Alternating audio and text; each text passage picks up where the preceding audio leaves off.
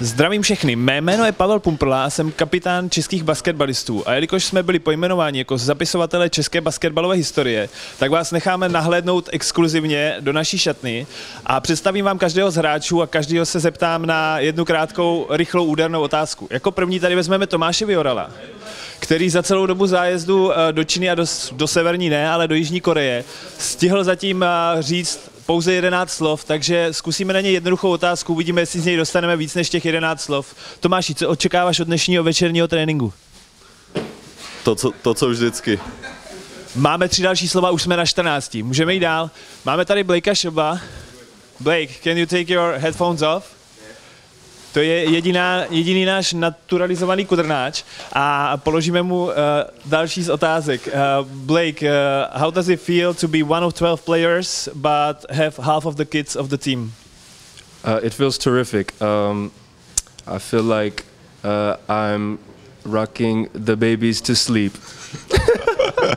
tak jak vidíte, nezbaví se pocitu, že má dítě v ruce ani, ani po 14 dnech zájezdu. Dalšího tady máme Martina Kříže, o kterém je známo, že má problém udržovat osobní prostor ostatních hráčů.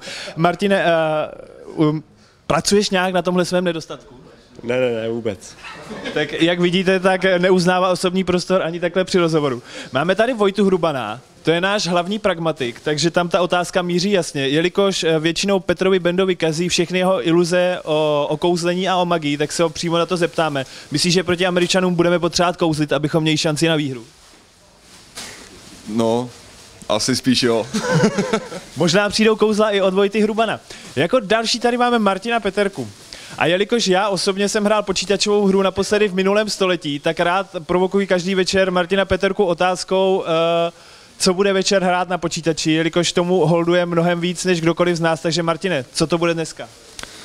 Dnes, vzhledem tomu, že máme trénink pozdě, jak to nebude nic, ale jinak hrajeme svojitou Warcraft. Warcraft je oblíbenou. Tak tady zamíříme, když už jsme u těch her, tak zamíříme k Jakubu Šiřinovi, který je jeden z mála lidí, který dodnes věří, že hra Candy Crush má konec. Takže ta otázka je jednoznačná. Jakube, už je to blízko? Myslím si, že je to hodně daleko ke konci a budu se snažit eh, k tomu konci aspoň trošku přiblížit. Tak doufáme, že mu tenhle náš eh, dlouhodobý výjezd tady na turnaj pomůže. Rozlížím se, koho jsme ještě neměli. Máme tady Lukáše Palizu. Ovšem musím říct, že už dále není znám pod tímto jménem, jelikož díky tomuto zájezdu získal novou přezdívku. Takže tam samozřejmě míří moje otázka. Lukáši, jak se cítíš se svou novou přezdívkou Lukáš Žeraliza? Výborně, protože jídlo je skvělé na hotelu a nedá se to nic jiného než užít. Tak jsme rádi, že aspoň nějaký pozitivní stránky dokážeme najít. A jestli vidím dobře, tak tady máme ještě Patrika Audu. Patriku, slyšíš nás? Paťo! Paťo! Sundej to. On většinou není takhle ve svém světě a mám na tebe, eh, Paťo, rychlou otázku, jelikož eh, Patrik rád navštěvuje, teda možná rád, spíš bych řekl, že jeho nejoblíbenější místnost na hotelu není jeho pokoj, ale posilovna. A jelikož tam eh, často straší místní čínské cvičitele velikostí svých prsních svalů, tak ta otázka taky je jednoznačná. Paťo, prosím tě, kolik Číňanů už ti chtělo šáhat na kozy? Zatím nula. Podivné, ovšem, možné. A samozřejmě nebylo by fér vynechat i Tomáše Satoranského, když, jsme si ho, když se nám snaží se vyhnout, tak eh, jednu krátkou otázku, i když rozumím tomu, že eh, pro většinu pro většinu lidí už není znám jako Tomáš Satoranský, jelikož od 1. července už má nálepku nejlépe placený sportovec eh, České republiky, takže samozřejmě ta otázka se bude motat okolo čísel a protože on ještě těch rozhovorů moc tady nedával, tak ho trošku podusíme. Takže Tomáši, mm, kolik zubů už má Sofinka? Dva. Děkujeme. Tak, máme za sebou 12 hráčů a myslím si, že to pro dnešek stačí, abychom se mohli jít převlíct. Máme tady, máme tady nějaké focení. A ah, Jarda Bohačík se nám schovával. Tak neměli jsme Tomáše nakonec. Jardo.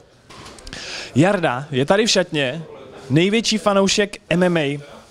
A představte si, ani Petr Monster kníže, ani Carlos Terminator Vémola nejsou jeho vzorem. Vzorem je Jiří Denisa Procházka.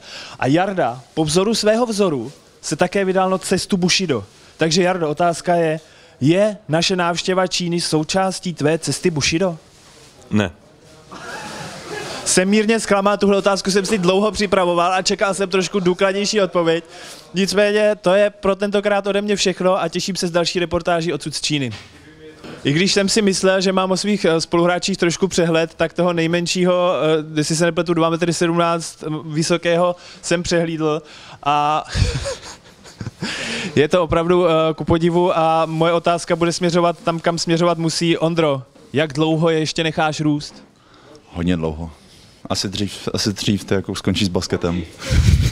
Tak to se máme opravdu všichni na co těšit, kam až dosáhnou Ondrovi vlasy.